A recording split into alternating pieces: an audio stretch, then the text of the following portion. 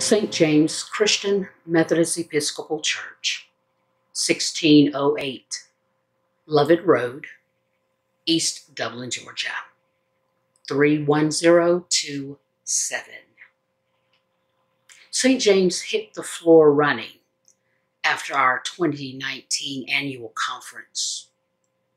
This pastor was both honored and humbled by the task of baptizing a new convert, one who came to the church willing and eager to learn and to serve in God's house.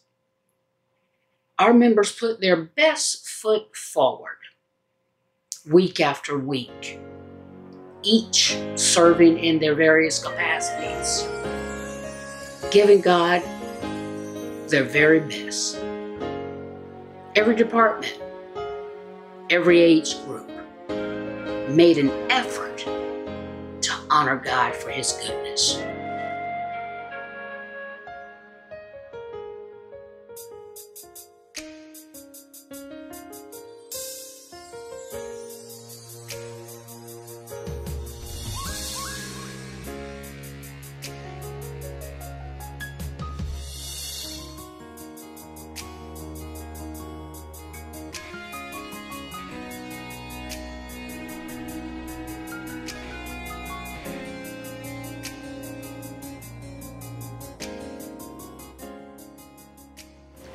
And in return, the Lord showed favor to St. James with not just one, but two of our young ladies shine bright as queens in the homecoming court of the Johnson County High School.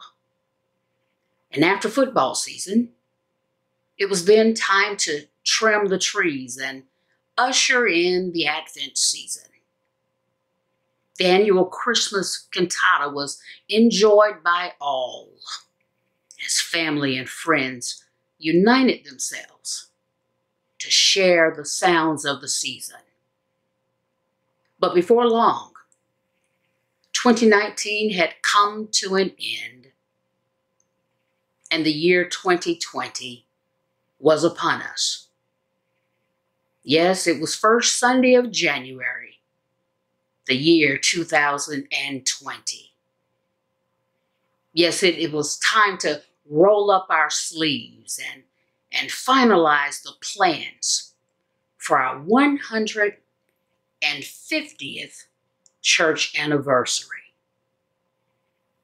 But little did we know that over the coming weeks, our faith would be tested in a mighty way.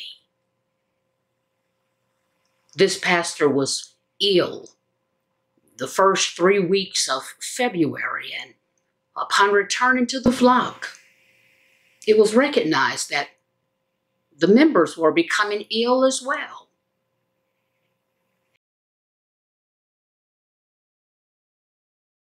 And as the pandemic grabbed the attention of the entire world, St. James immediately went virtual reaching the people to teach God's word. We continue to do ministry.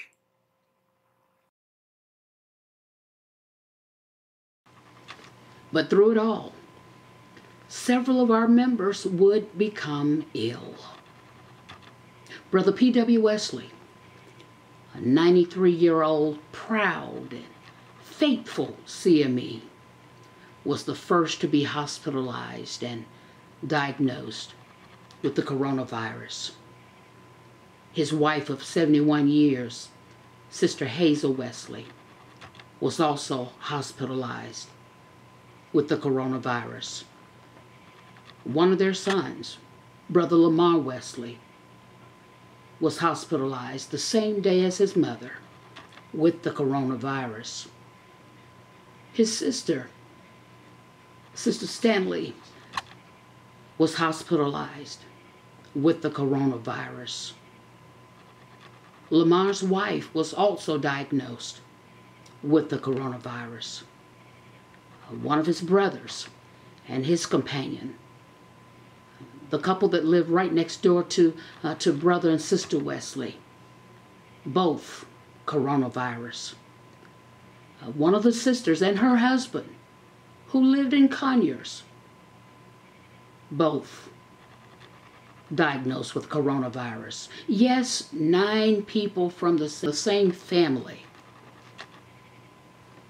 all faithful members and, and supporters of St. James, were victims of the coronavirus.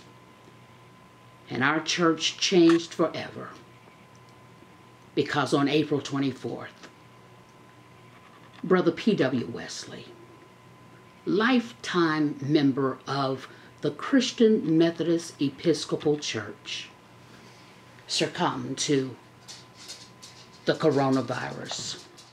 While we never had an opportunity to grieve as a church, we're so grateful for the time we shared with Brother P.W. Wesley. Why? Because he was the epitome of faithfulness. And we will forever be grateful for the time the Lord allotted us. So finally, this conference year was definitely one of great personal loss for this servant. For it was after we returned from uh, Savannah last annual conference that I personally suffered uh, an even greater loss for myself. The Lord called my own mother home. Another faithful servant in the Christian Methodist Episcopal Church.